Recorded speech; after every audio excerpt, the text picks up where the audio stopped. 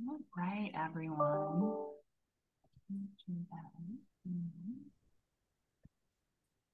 All right, everyone. Thank you so much for joining us today. Um, this is brought to you by the Alzheimer's Association and New Hanover County Public Library. We like to partner quarterly to help reach our patrons and the services that anybody here in the area may need. Um, Brooke is just wonderful to work with. We really, really like this partnership that we have going, and we look forward to offering more programs in the future to you all. Um, so today's programming program is on managing money, a caregiver's guide, um, and please feel free to reach out to the library or to Alzheimer's Association in the future if you have any questions, if you have any requests for programs. We are always happy to um, to talk to you about that. So with that, I'm going to pass this over to Brooke. Thank you all so much for being here today. Hi, everyone. I'm Brooke Ballily. I am a program manager in Eastern and Coastal North Carolina. Hmm. And I want to introduce our volunteer community educator today. His name is Nick Maggard, and he is a nationally recognized speaker, expert on a variety of estate planning, financial topics, and founder of Maggard Elder Law, LLC, and Leg- Legacy Retirement and Estate Planning Group. He's a sought after expert, mentor, and speaker within the financial and legal community. So we are really blessed to be able to have him present this new program, Managing Money, a Caregiver's Guide to Finances, which is now evidence based. So that's really exciting news for us. He's been in, Nick has been interviewed by the Wall Street Journal and Chicago Tribune, as well as noted in articles in Kiplinger, U.S. World News, and World Report. And having experienced the loss of a loved one, Nick knows how much work goes into financial and estate planning and just how much value there is in having a complete plan in place. So when he's not in the office, he does enjoy various sports like basketball and soccer, and most importantly, values the time he spends with his wife, Andrea, and their four children.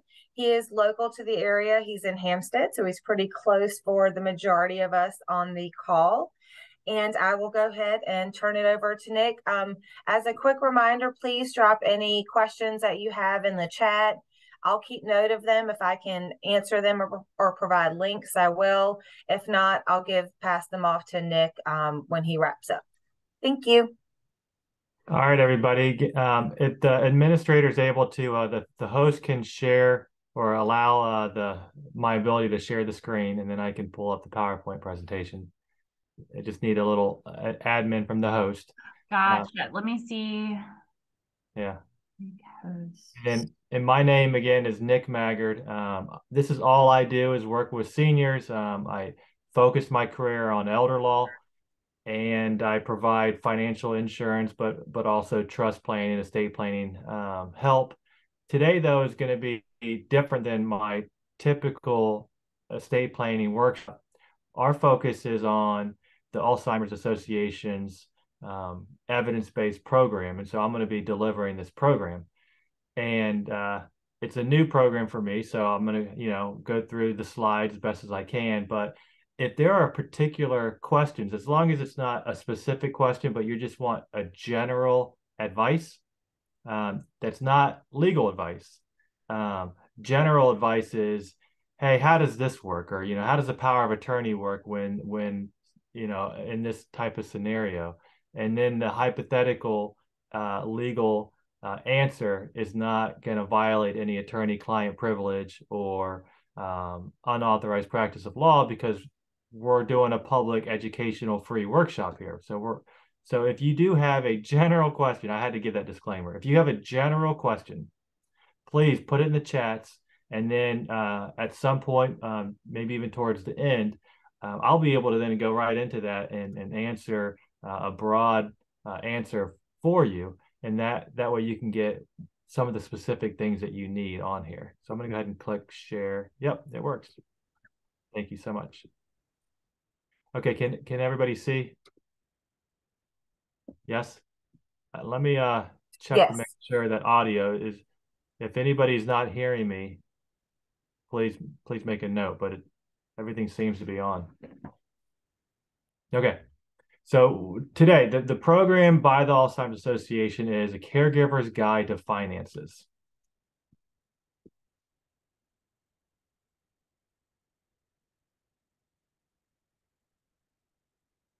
All right. So we're going to jump in. Again, if you have any questions, you can ask questions. There's going to be um, uh, help um, in the chat. So feel free to text that and then uh, and then we can kind of jump into there. All right. Now, is the program are you guys able to see the slideshow or is is uh is everything looking correct? Actually, Nick, you have your um the notes that are on there instead of the actual PowerPoint. Okay, so yeah, let me look then to see. Yeah, I see what you mean. There we go. That's it. Okay. There we go. Perfect. And then let me make sure. I don't see anywhere for the full screen, but I think this is good. If everyone can see it, I think we can just jump right in. So, yeah, okay, so the project was supported by um, a grant and it's an educational general. We're not giving any legal advice. Uh, we're trying to provide a lot of resources, a lot of information to you. Uh, but as with everything, you know, if you need medical, legal, any kind of particular advice, you really got to sit down with a professional um, and, and kind of go through that process. But if you're here for information, then you're at the right place. So the steering committee, we just want to give recognition recognition to. If you everyone can kind of look through uh, all those names there, rather than going through and me reading it each one. And then what are our objectives? one caregiving is is is a has a big impact. And we want to make sure what's the effect on finances? We want to talk about legal and financial documents. Is it a will? Is it a power of attorney? Is it a living will healthcare document? These are a lot of topics that uh, i get questions on every week. Uh, prepare for useful discussions about financial decisions and planning. Preparation and pre-planning is the name of the game and then there unfortunately is a lot of financial abuse and fraud. And so we want to make sure that you have uh, awareness of different you know obstacles or uh, indicators that might show some of this abuse and fraud. And then we can kind of create a backup plan um, as well in case you particularly are not able to provide any of the care. So caregiver care partner is a family member a friend. It could be a niece a nephew um, it could be a neighbor you know those are types of scenarios where we see different people having to step up as a caregiver or volunteering their time or maybe it's uh, for a fee. A lot of times we look at caregiver contracts uh, to make sure that that individual is being paid uh, legally um, so that way if there's ever an issue with nursing home or medicaid uh, the under the table payments um, will run into problems. But if you do things through a contract and through payments um, that's the way to go. Finances, money and things that are worth money, and financial literacy. Understanding money. I mean, it, it's it's not a fun topic, but it is an important topic. So, what is the cost? So, financial literacy is, is really important for caregivers because it provides them knowledge and skills needed to support other people. What's the percentage of caregivers that have an out of pocket costs as a result of caregivers. If you want to type in a number in the chat, if that's okay. Just curious to see what everybody thinks.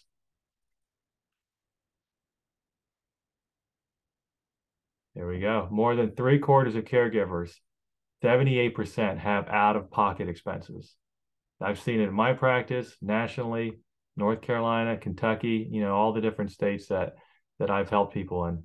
That that's that's there impact on employment. Obviously, it's going to affect employment. A lot of caregivers reduce their hours, or maybe there's stress. Um, and so it is a burden on being able to continue at their job at the normal uh, ability of do- doing that. They've had to take off work, um, they've had to quit their jobs, you know, they're, they're, and then that can have a lot of impacts on the caregiver itself, whether they're paying into Social Security, uh, whether they're setting up their own retirement, um, whether they have the health and stress uh, levels adequate. Um, obviously, debt that can be a huge detriment that can last for years and years. So there is an impact.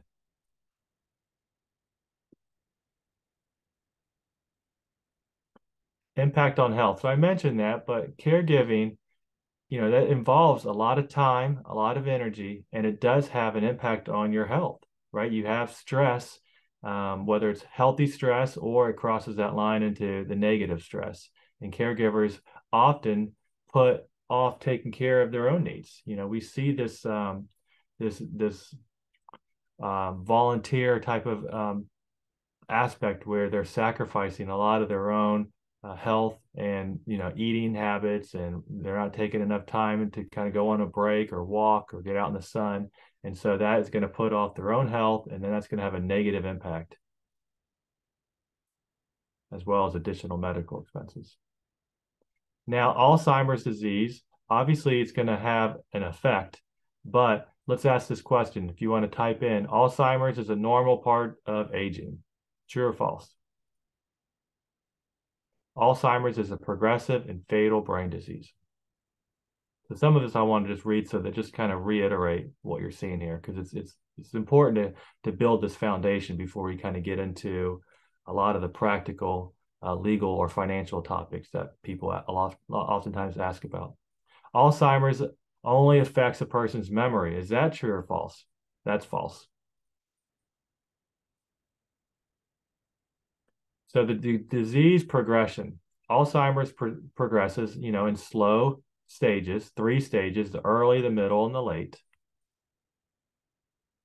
And it does impact on one's ability to manage money. As the disease gets worse, often you have zero ability to manage money, which that's where you want a plan in place.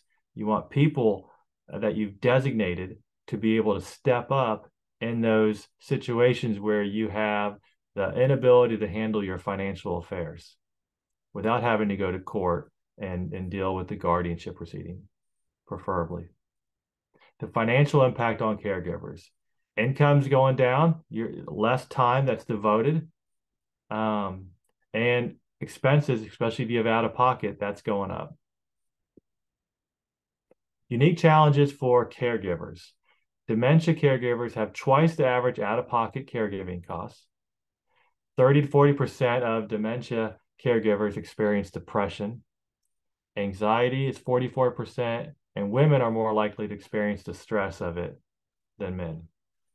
So let's check your knowledge again to kind of stay on top of uh, what is being presented here. People younger than 65, can they develop Alzheimer's?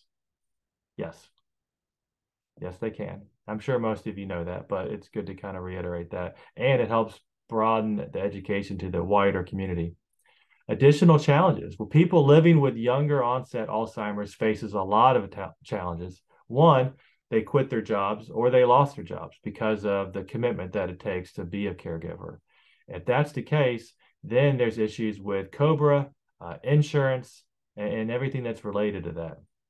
People living with the young younger onset Alzheimer's and their care partners have less time to plan for the future, which is really setting up their own emergency fund and their retirement um, plan.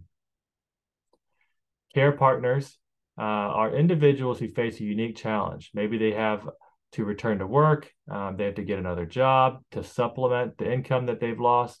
Uh, they have their own families to take care of, children, and that cost and they're no longer able to save for the children's um, college edu- educational expenses like a 529 plan.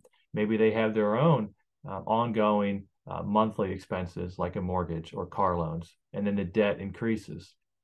Um, and then there are resources that are available for people who are 65 and older. We see that um, in the LGBTQ community more likely to be single, often live alone, less likely to have children. A person um, living with Alzheimer's will end up needing um, someone else to take care of, you know, your day-to-day expenses and your bills and, and, and all that. Uh, may qualify for services that are offered at no or little. So, you know, there's a lot of impacts uh, that, that this is going to have on your income. Who can benefit from putting financial plans in place for the future? Well, who do you think? Do you think it's only people with a lot of money? Absolutely not. I found that if someone has $500,000 to someone that has $20,000, as a net worth. And, in every situation, it seems that the individual's assets, what they own, that's important to them. It doesn't matter uh, what the value is. Therefore, having the ability to have a plan in place is important for every single person, regardless of how much income or assets you own. So every every segment needs to set up a good plan. And early planning, you know, you want to talk to uh, the person's, you know, find out what the person's wishes are.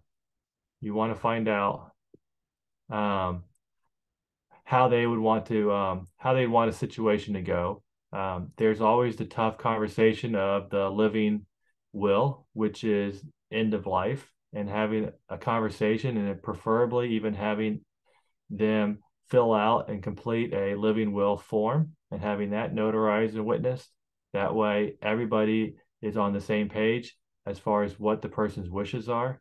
Also, having a conversation about expenses and which expenses do they want to be continued, which expenses do they not want to be continued, and if possible, how they want to handle gifting, how they want to be able to handle inheritance.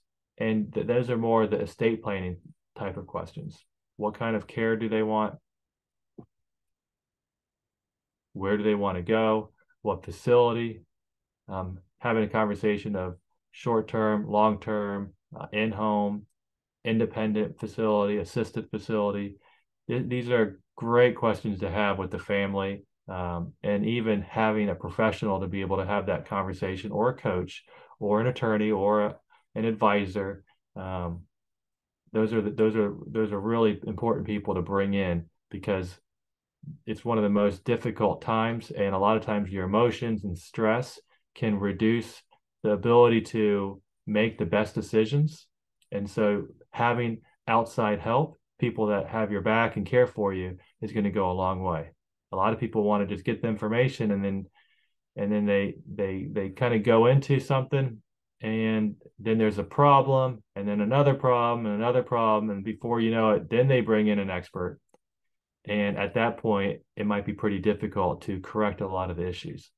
Benefits of early planning. You have the ability to find out exactly what the individual wants you get reassurance and you have a peace of mind from having all your plans in place. There is a peace of mind that comes with knowing i've set up uh, my power of attorneys and I've set up my beneficiary designations and I've done everything that I need to do. Um, or I've helped the individual who has Alzheimer's, maybe in early uh, signs of it, get everything in line. It provides a lot of peace of mind. Financial discussions, talking about money can uh, make people feel anxious and uncomfortable. You see that more with certain generations. Um, and so it is hard to find a way to start that conversation. Uh, some tips would be writing down your goals. You know, just kind of asking, you know, if this situation comes up, you know, what are your expectations? How would you, uh, how would you see the best way for this to be handled? And then maybe talking about some important documents and just mentioning those and writing that down. Having a list of key people um, you know you can bring in different people to have this conversation but you can also make a list. Uh, i have a, a, lot of clients who will make a list and they'll just put key key persons and they'll put close friends and their maybe their phone number. Maybe they'll put their pastor or clergy phone number their advisor attorney phone number um, different family members. Um, that way you have a piece of paper that has everybody that's important that that needs or could become a, a person that you would need to have a conversation with and it's all in one place. And then loved ones can be able to grab that and, and be able to deal with the crisis um, when it comes in the future. Choosing a calm time of day in a quiet place again if you really want to have the most out of a good conversation because of how important this is it's all about timing. It's about coming into it with the right intention, the right uh, emotions, right, of caring and um, humility, and and not being too pushy or too aggressive. Know that it can be hard to ask for help, especially uh, with someone who has dementia. And again, repeating what are the individual's wishes without any judgment. If there's any kind of difficulty in communicating, then the tips are to um, kind of maybe have a piece of paper and show some different bullet points, short sentences, um, keeping it simple, but but kind of direct and open and not really judging, which you know requires that positive touch. So you start with a positive statement. If you need um, to write this down at a later date, you can, you know, you can I'm, sure you'll be able to get your hands on the presentation, but these being able to have kind of um, not necessarily a script, you want to put everything into your own words, but being able to phrase a sentence the right way can go a long can go a long way. So these are some examples of that.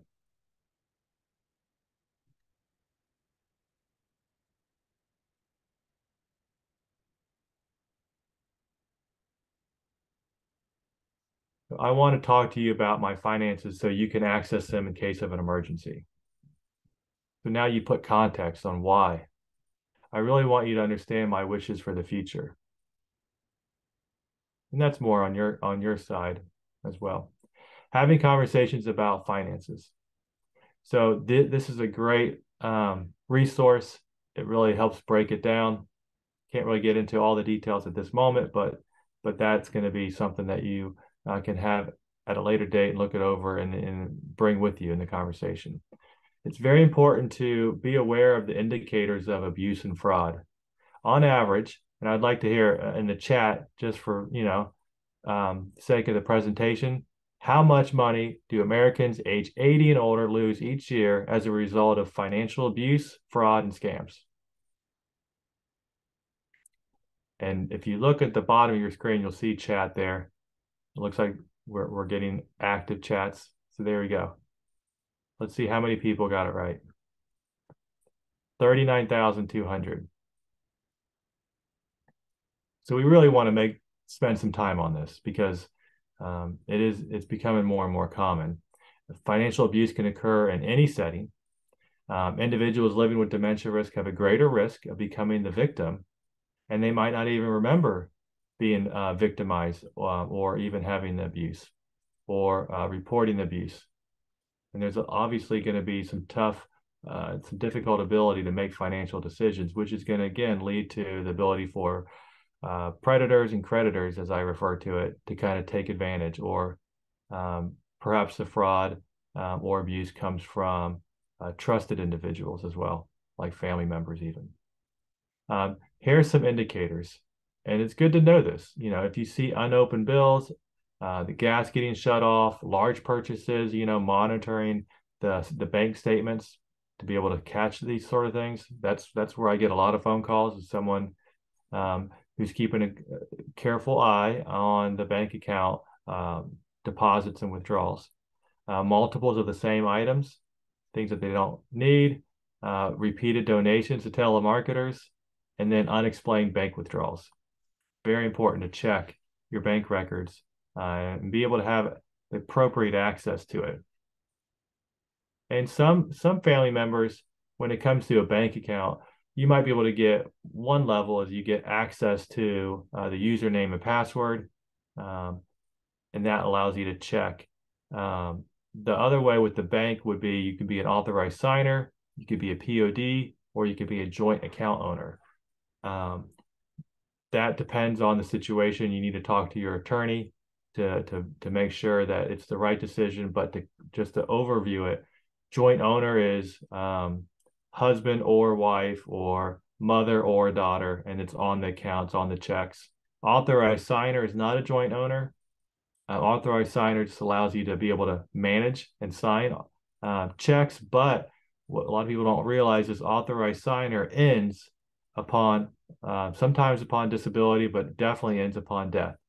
Um, and so, if there are assets still in the bank account, then the joint owner might be um, more suitable in a lot of situations because there's not this issue of the account being frozen when someone passes away. And then POD stands for payable on death. That's how that's very important too. You, you you probably are familiar with having beneficiary designations on IRAs, retirement accounts, CDs, um, brokerage accounts. a lot of those institutions do a fairly decent job of telling the account owner to designate a beneficiary. Now, bank accounts, however, whether it's a checking or a savings, they don't always notify the, the account owner that there's a, a procedure where they can designate a beneficiary on the bank account. And so you can go, the account owner would have to go, or the power of attorney on behalf of the account owner would have to go to the bank and say, I want to designate a POD, payable on death. And then you list who you want the payable on death to go to. Um, this is all surrounding the topic of paying careful attention to what's going on in the bank account. Um, because that's going to be, again, one of the probably the number one ways to spot abuse and frauds. Um, you have you hopefully have been able to look over this, but um, you can automate a lot of things these days, and that that allows you that frees up a lot of your time as well as allows you to kind of monitor the automate automation. And that's what a lot of people are doing these days. These are the steps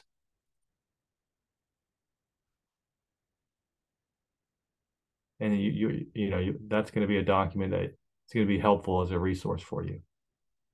Now let's look at some financial uh, and legal, but you look at income and spending, right? Like like like with everything, you write down in and out, and you can see pretty clearly uh, how everything's going. you can then anticipate or the ability to have enough assets to pay for the cost of care. You want to look at that there.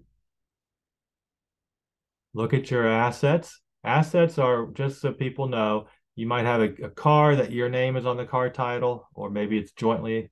Uh, you might have your name on a house, whether it's individually owned, whether there's a lien or mortgage, but uh, you might have a life estate deed where it's your name, but you have beneficiaries on the property deed. And a life estate deed is um, a powerful way to have property um, skip the probate process because the life estate owner gets to reside in the house, gets their homestead exemption, uh, gets the step up basis for taxes, and then for their life. And then when they pass away, it automatically goes to the people that is designated on the life estate deed. You want to look at uh, take an inventory of debt, especially credit cards with the interest rates these days, uh, and then loans you'll have there as well look at uh, cost of care. You know, everything that's dealt with in the home, uh, whether it's prescription, uh, whether it's supplies, um, or depends, or you know, all the different things that kind of go on. You also want to be able to identify, and this is where it's important to have someone that you trust to kind of be able to monitor what the doctor's recommending for the medication and whatever that is, ensuring that there's a process um, where you can ensure that the medication is being taken um, as well as kind of monitoring that as, uh, or even assisting in that. Uh, personal care supplies. Then you have, you know, adult day services, um, and that's that that can be extremely important for not just the social aspect, but also for the caregiver itself to get a moment uh, because they can become a better caregiver if they are uh, have little bit more balance in their life. And, and that balance can come from adult day services where someone else is helping out in the caregiver role in home care. And then you have residential can be independent facility where the staff they're not allowed to do any kind of assistance, but it's more uh, a you know kind of a safe atmosphere. And there's different levels of independent, and then you kind of go to the assisted level, and a lot of times, um, the assisted level or the independent level, you can get a third party private duty nursing to be able to come in and give even a higher level. And then if you need the skilled care, uh, that's the nursing home. And that price that price goes up quite a lot at that point. And then that's where we look at, you know, what's part of the spend down? How do we reduce the spend down in the event of a nursing home so if you look here, full-time residential care services, uh, Medicaid can pay for a skilled nursing care facility, but they require an individual to spend down a lot of their assets. Now, there are exempt ways to have assets not counted, and then those and those assets become non-countable assets and exempt assets non-countable assets are not required to be spent on the nursing home cost. And medicaid will pay the whole nursing home bill for the rate that they negotiate. And then the family is able to keep the exempt non-countable assets. Now that's pretty advanced and it's uh, beyond our conversation um, on this talk. You would need to set up a probably a phone consultation to make sure how do we look at assets that are owned that are considered um, countable that's part of the spend down and how do we it's called reposition. How do we reposition them so that they're considered non-countable in the event of a nursing home? Um, and that's a pre-planning technique. Um, financial responsibilities automating bills is, is a wonderful way of, of, of kind of helping with that. Um, looking at benefit claims, which is kind of the, you know what touched on, but there are additional benefits. Uh, there's also the way to look at Medicare. Medicare can pay if you're in a nursing, if you're in a hospital for at least three days and you're admitted, you're not under observation, but you're admitted, and then you go into a skilled facility. Medicare can pay for 20 days and then a percentage of 80 days, but it ends at 100 days. Um, and looking at investment decisions, um, getting everything together for tax returns, and so you have this form here that's going to be really helpful to look at your income, uh, your expenses. That way you can calculate with with a lot of accuracy, which you need, you know, to do um, what the budget's going to be.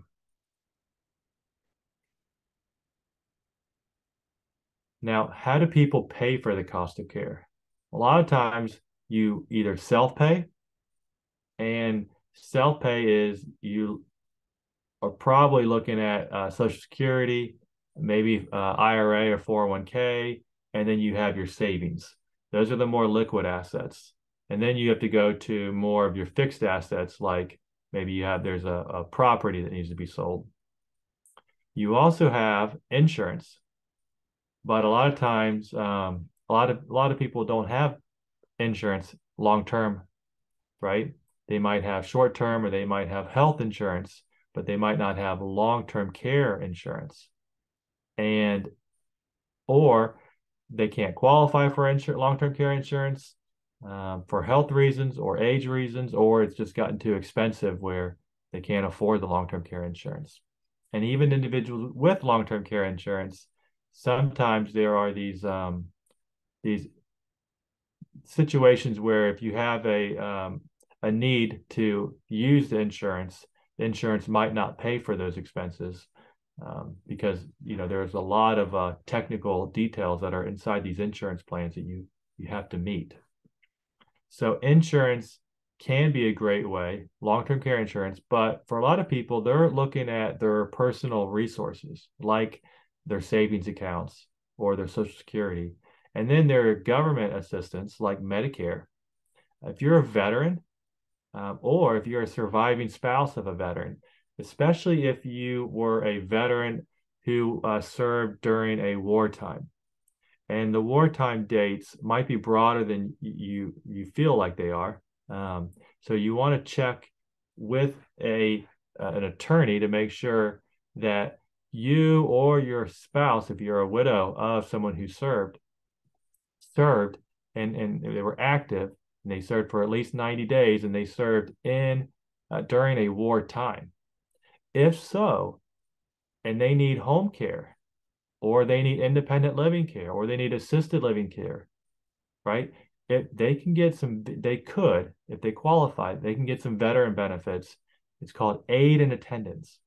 And aid and attendance will pay for, uh, and, and that, that money can go to a niece if you set it up right uh, or or a family member. It can't go. Uh, there there's some exclusions uh, in there, but VA benefits aren't available to everybody. But if you or your spouse serve during a wartime and you meet the medical need, right, uh, especially if you're homebound, you can uh, avail yourself of those benefits, and that can make a big impact. Um, I need to check what the number is right now, but a married veteran uh, might be around 28,000 to 30,000 a year uh, in, in, benefits. Social Security disability insurance, uh, compassion allowance initiative. So there are these federally funded resources that if I was um, meeting with the client, I'd be looking over and making sure that these are looked into. You have state funded uh, Medicaid, which is really a state federal program, Medigap, um, and then there's some additional resources. And Medicaid, which is state and federal, will be available for a nursing home. They're, you know, if you have home care, certain needs, um, there's a program of Medicaid that um, is specifically designed for nursing homes only. But you have to qualify for that. And you have to move assets. You have to either spend down assets or you take your countable assets and then you reclassify them, um, whether it's with the trust or whether it's with some other technique that's available, and you reclassify it as a non countable asset. Legal planning. Make sure you designate a trusted family member or a friend to make decisions. Giving somebody the authority is the name of the game. Uh, that can make, and it's not just a, a simple, you know, two page power of attorney that says, if I'm disabled, then I designate um, my spouse or my caregiver or my daughter or my friend or my nephew or my brother. I give them the authority to do everything. Well, nowadays, you have to be very explicit in what authority you're granting the individual, the trusted person, to make decisions for you if you are disabled. And so that's why you really want a strong, um, it's called an enhanced power of attorney. And you designate, so it's doing two things. One, the name of the game, you're designating clearly who has authority because you're giving that person when you designate a power of attorney or for healthcare or legal or financial affairs and they have the authority to handle and sign your name and act as if you're acting and that's giving somebody a lot of authority so you got to trust the person that you're you're granting this authority to and you can give you can have one person be the individual that is going to make the decisions on your behalf through a power of attorney you can designate two people or three people and they can be co and if you designate co-agents, then you're going to want to um, figure out, do they all have to co-sign or can they act independently of each other? If you give them independent rights, the agents to act on your behalf, they can act independently. That gives them flexibility. But if you require that they sign jointly, that gives you accountability. That makes sure that, you know, one person doesn't have too much of the control. So there's pros and cons of naming multiple agents um, to make decisions on your behalf. If you have any questions about power of attorneys uh, or anything in ge- general questions, feel free to add it to the chat. But a big tip is number one, designating the right person or persons. Um, and then number two is making sure that the powers that you grant that person, that you're giving them very explicit, very um, detailed, uh, and typically very broad powers. That way, when you're trying to act on somebody's behalf who is unable to sign uh, for a mental incapacity, oftentimes like dementia or Alzheimer's, that that individual who's trying to act on behalf of somebody else isn't limited in what they can do and then they're not running into walls they're not hearing from the bank or the the the DMV or the Register of Deeds or Social Security or Medicaid office or nursing home. They're having to interact with all these institutions. And each institution will interact with somebody who's the agent on behalf of somebody else only if that person has a really that has a, a legal power of attorney. And so you want to make sure that that power of attorney is um, gives full authority to your agent to make these decisions so that it specifically says, I grant to my son, if I'm disabled, the ability to deal with the bank. It needs to say that. I handle real estate, handle social media accounts. A lot of times we add that, handle digital assets, um, deal with the federal government, deal with long term care planning, um, deal with financial institutions, deal with stocks and bonds. I mean, some of the stuff might not even apply, but it's better to have things in your power of attorney and not need it than need it and not have it. So you really want to have a strong document uh, that gives a lot of authority to your agent. In addition to, as it says right here, designating the right people to make those decisions on behalf of uh, someone who doesn't have the capacity. Reviewing documents, making sure they're up to date. You see here a durable power of attorney for finances and healthcare. That's that's the principal is the person who um, would be in this scenario the disabled individual, and then the agent is the the trusted family or friend person that you're designating. So the principal agent relationship. A living will though is a different document than the power of attorney. So power of attorney for financial and legal is often called a property power of attorney or a durable power of attorney. Durable means it survives even after disability. Uh, healthcare power of attorneys uh, sometimes referred to as advanced directives. Um, but a living will is a very unique situation. And that's where, if you are ever in a situation where if you are permanently unconscious or you are terminal, there's no recovery, there's nothing else the doctor can do. Um, and so then there's this decision will you allow the body to die naturally um, or will you um, have you know IV fluids um, treatment, whether it's Rituxan or, or, or whatever the treatment comes in. Um, there's pain medicine. There's uh, food and water artificially, right? The, so you're on your deathbed. If you have artificial, you know, food and water, saline and medicine coming in, not med, not not not pain reliever, but but treatment then that body might take longer to pass away than removing the food and water and, and medical treatment, which would allow the body to go into the natural uh, passing. So that's a legal decision, uh, the decision to remove food and water and treatment. And that decision only occurs at the end of life. Terri Schiavo, kind of, if, you, if anybody remembers that scenario, um, permanently unconscious. There's there's nothing else that the doctor can do because the doctor has their Hippocratic oath. They're going to do everything they can, um, but at some point, sometimes the doctor says there's nothing else that we can do, and then do you want to be left on life support or not? That decision can be made, and you can make that in the living will. So it's a very unique situation where the durable power of attorney and the healthcare power of attorney, those that's more if you need a, a, surgery or a healthcare decision, or you need someone to act to handle your finances or sell property or anything legal, financial, or medical that that's a decision that can be done by you or it can be done by the power of attorney.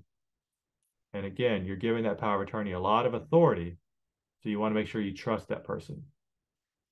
You see at the very bottom of this page, because we've already gone through the living will and the power of attorney, a living trust. A trust is uh, like a box and like an LLC, you, you put your real estate into the name of the Smith Living Trust. Now, that living trust, that name, Smith Living Trust, you sign and date it. You're the trustee of it. It's your, you manage everything uh, just as if you own the property in your individual name, but you own it in the trust name. And the reason why people do that is the trust doesn't die when the individual dies because there's a provision there that says when i die i designate so and so to be my successor trustee. And then that person can manage the, the the the trust assets and probably sell it and distribute it to your beneficiaries. It also says in there if i'm disabled i designate so and so to be the trustee in that event. And so it allows them to stay out of court allows the government to not get their hands in it and when you pass away, there's no need to go through probate because probate fees are anywhere from three to six percent of whatever the gross estate is, which is quite a lot. And if you have the ability to avoid probate, and a lot of times people, especially with real estate, they set up a trust to avoid probate. and to make the distribution process easier, saving fees.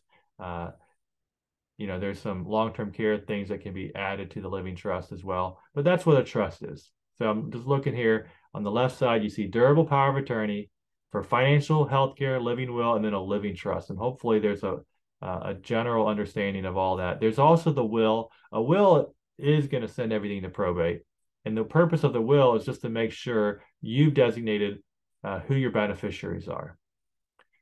A trust becomes a substitute for the will because the trust also designates who your beneficiaries are. But unlike the will, assets don't need to go through the probate process. So you want to find help. Well, then there are a lot of resources that are open to you on the financial side and the legal side. Elder law attorney uh, is the typical designation when you're looking for someone who uh, is has the legal experience to help with long-term care type of legal issues, not just estate planning, but but in addition to estate planning, a focus on that. Creating a backup plan, talking to family and friends, um, maybe more than one person, having an alternate. So we would designate maybe so and so as your power of attorney, your agent, or the individual's agent. And then if they are unable to serve, or they pass away, or they're just unwilling to serve, it's nice to have a backup to that person, an alternate, and maybe a backup to the backup.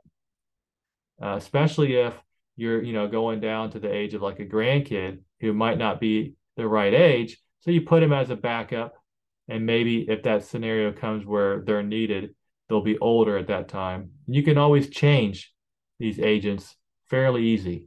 The only requirement that you need to change any of your estate planning documents, the main the main issue is does that individual still have the mental capacity to sign? Because once they lose their ability to sign, um, then they're going to lose their ability to make these changes. So it's important to have it in place now, like as soon as possible. Everybody, all ages having power of attorneys and, and designating the right people. Um, but again, as long as you can sign, you have the ability to make changes. So you're not stuck.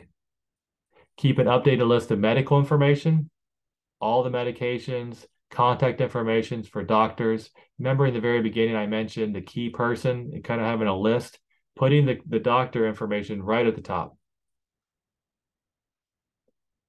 As a caregiver, you're going to be able to provide better care if you are taking care of your health. There's there's no other way of, me. It's almost as if um, you have to force yourself to make sure that you are eating better, active, you know, being a little bit more physically active, um, and and just having a mental break where you can kind of do some things that de-stress I can tell you, for me personally, um, taking you know 10 minutes of walking outside and just feeling the sun that helps me a lot. But everybody has their own way of doing it but a lot of people get so lost in, in t- being a caregiver that they just stop taking care of their health. And and that is um, that's going to be very hard on you as well as on the people you're trying to take care of And so there's some contact information for you. The next steps, um, write down um, uh, if you're if anybody was taking notes, or I can kind of go into the chat room. But you know, you write down.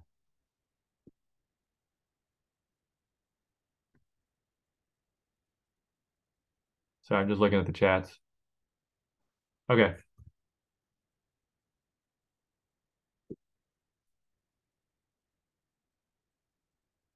Write down your steps. Like, have you got your power of attorneys updated? You have, you know, the bank accounts set up right. Bro, if you want to hop in at any point. Yeah, no problem. Thanks, Nick. Um, Michelle, yes, we will send out um, after this that workbook that you saw referenced and then a um, a PDF of the PowerPoint to be able to have as well too. And then again, most likely this will be able to be shared on the library um, YouTube channel. So you'll be able to come back and access it as well too. Um, there were no, there were a couple um, questions, uh, not necessarily related to the topic. So I will go ahead and open up the floor to that, um, Nick. And in fact, I had one that I was not sure about too.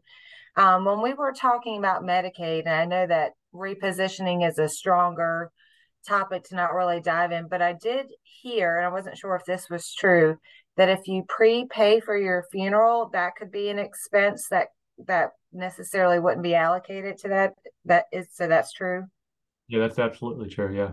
So that that's there are there are um there are small ways to um, take assets that are countable, like maybe you say there's fifty thousand dollars in the bank, and there are there are some uh, small ways, and we can you know you you got to be careful, kind of on a broad topic um, like this, to, you know, to not give specific legal advice, and then that's taken, and then people feel like okay, everything's done, and I'm good to go, and and then, um, but that is certainly one of the uh, one of the techniques. Now that obviously, um, you know, might be ten thousand dollars for a funeral plan.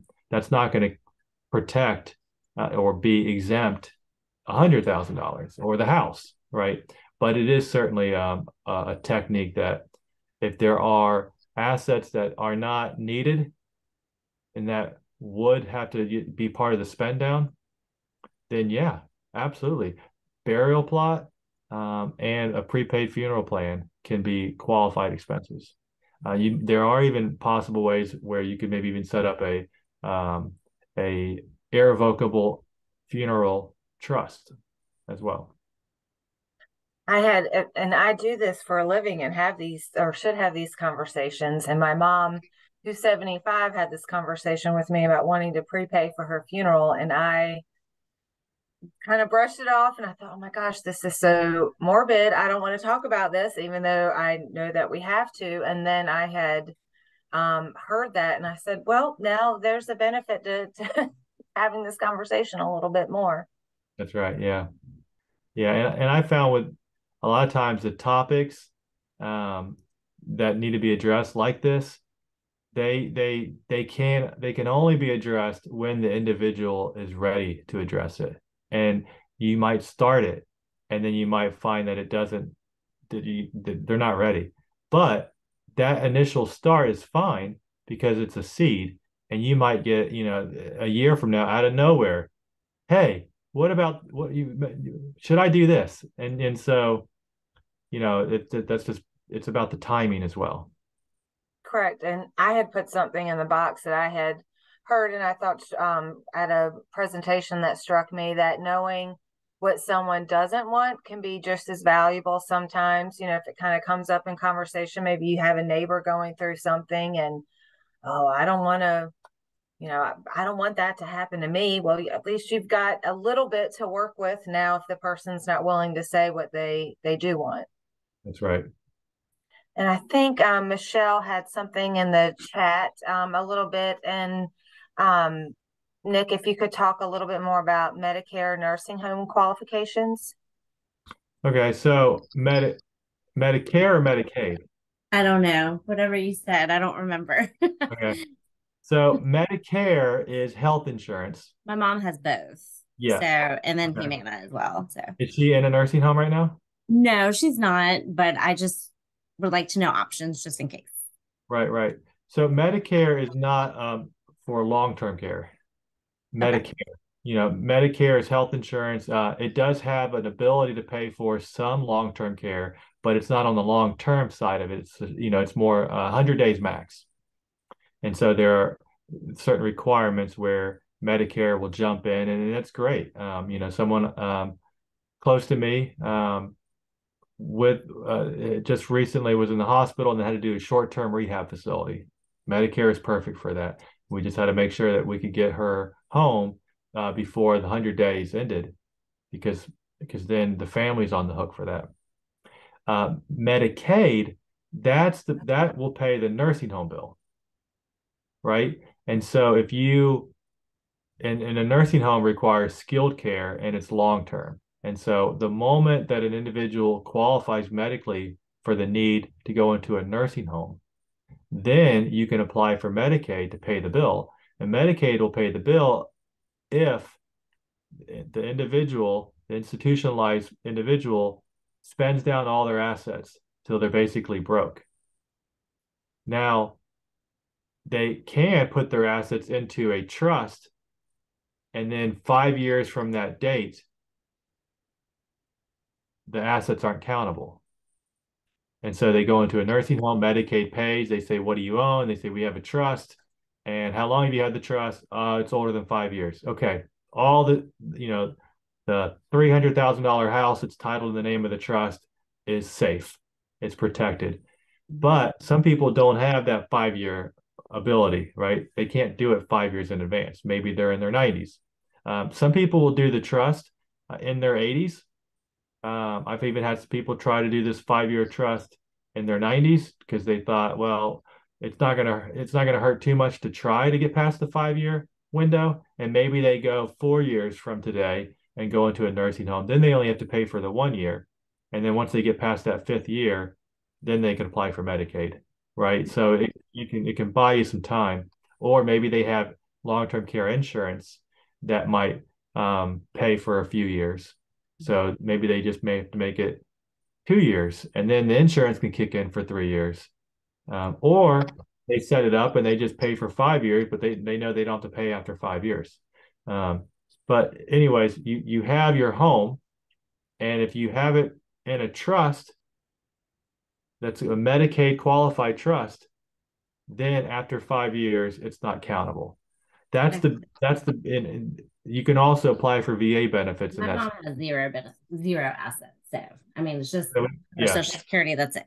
it's minimal. Oh, right, So it's just I just get confused on like who to go through. You know, like we just got set up with Humana, like yeah, Medicaid, Medicare. Like I never really know the difference. You know, I'm starting to Medicaid learn. be the long term one. Right. Do they cover all of it? They'll I cover mean- the nursing home bill. The what? They'll they'll cover the whole nursing home bill. Now, when you go to these facilities, a lot of times they'll have admin or they'll have a social worker or they'll have somebody there that at that time they're going to be your resource. They're going to be able to tell you, um, all right, your Medicare, keep submitting it on Medicare, but when it runs out, um, this is the office that you're going to need to set up an appointment. And a lot of times you can do that within 30 days prior to having to be admitted into a nursing home um, or you do it at at the time of admission but you just you go in there and so from a practical perspective what i found is a lot of times the medicaid workers um, they're going to look at you and they're going to think okay is this individual going to make my life easier or harder? And so if you're the type of person that goes in there and imagine if you're the caseworker and you see someone come in and they have copies of the last six months of bank records. They have copies of all the social security of the social security award letter and a couple copies to hand. They have the driver's license they have the birth certificate um, they have if there's a, a spouse they have information documents on the spouse what they're really wanting you to do is they want you to bring documentation of any income that the individual has whether it's an rmd uh, if in your scenario a social security award letter um, any income, and then they also want to they also want to see bank records. And and now you're coming in there, you know, with a lot of organization, and the process is going to go. I'll tell you, it's going to go a lot smoother if you're if you're prepared. And preparing is just getting them having ready all the documents that you need to show proof because they don't want to take your word on anything. They don't want you to say, "Hey, mom gets you know a thirteen hundred a month," or, or you know, no, they, they want they want you to have proof. They want to see documents because they can't take people's words anyways. And so, so from a practical tip, um, just know that they're human beings as well. And if they see you as somebody who's organized, they're gonna they're gonna make the process a lot easier on you.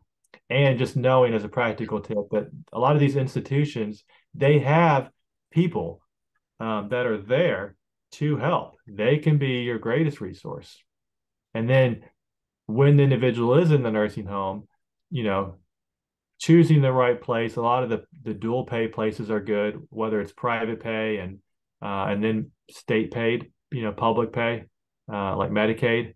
Those dual pay facilities are really nice, and then being able to visit as often as possible that makes a big difference on the quality of care. Is when the staff, because a lot of times the staff legally they don't know, they don't know who's paying, so the quality of care should legally be the standard. It should be the same. Um, but from a practical perspective, if they see so and so has a family member come in once a week versus someone who never has any family visit, um, you know, things can get, you know, um, it's just better to have um, good organization and being able to pick the right place, dual places, being able to check in as often as you can. And then, like the presentation said, taking care of your own health um, by taking those breaks or doing whatever you do to to to, to balance your health, diet, and exercise. Thank you. And Nick, there was another question. Um, what did you mean by Medicaid qualified trust? Um, so that's just a um, so there's there's different kinds of trust. There's a there's a Medicaid qualified trust there's two different kinds of Medicaid qualified trust. One would be is if income is higher than what is allowed, and then the income can go into the Medicaid um, into that trust. But the main Medicaid trust that most people think of is a asset protection trust. It's a it's an irrevocable trust where the individual puts their assets in the trust and they designate maybe their spouse, oh no, their kid or a friend or somebody else as the trustee. And you set it up a certain way um, and then that trust if the property is entitled in the name of that trust you know it's protected. So um, yeah. So you know stephen troll is um, one of the attorneys that uh, i like to work with. Uh, he sets these medicaid trusts up. Often i can put you guys in touch but but I can't go I can't explain everything in in in, in a but I can give you a little snippet. It's it, there's different kinds of Medicaid trusts. Um, some are designed just for income, but the ones that most people think of is designed for the assets. And the most common asset that people put into a Medicaid trust is real estate, like the primary residence. That way they don't have to lose their home, which is a really a big deal. Revocable trusts are not Medicaid trusts. That's correct. But even though you set up an irrevocable trust, you can still put language in there that make you can make changes to an irrevocable trust. For example, if you set up an irrevocable trust and you think, oh, well, I can't ever change it, that's not true. You can change the trustee at any time you want. Do you have control. You can also change the beneficiaries anytime you want. So you have leverage, right? So you can make changes to an irrevocable trust, but on legally, it needs to be an irrevocable, not a revocable. And on that note, Nick, is it okay when I um, send the follow up with the PDF and the workbook to share um, your professional contact information as well? Um, yeah, if you want to just share my my number and email, not okay. my address, but um, yeah, just just the number and email, and then um, and then if somebody needs to be brought in, I can I can um, bring somebody in, whether it's a financial or an insurance uh, professional. I have you know contacts being in this field that I can kind of make the introduction and then and then step out. But at least you have someone that you're familiar with from this talk to be able to help quarterback and give you a little bit of direction.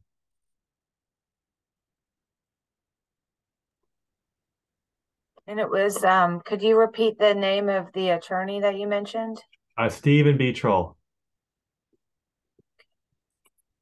I'll, I'll type it in here. And does anybody have any um, additional questions? Or um, can we turn it back over to Christina at the library?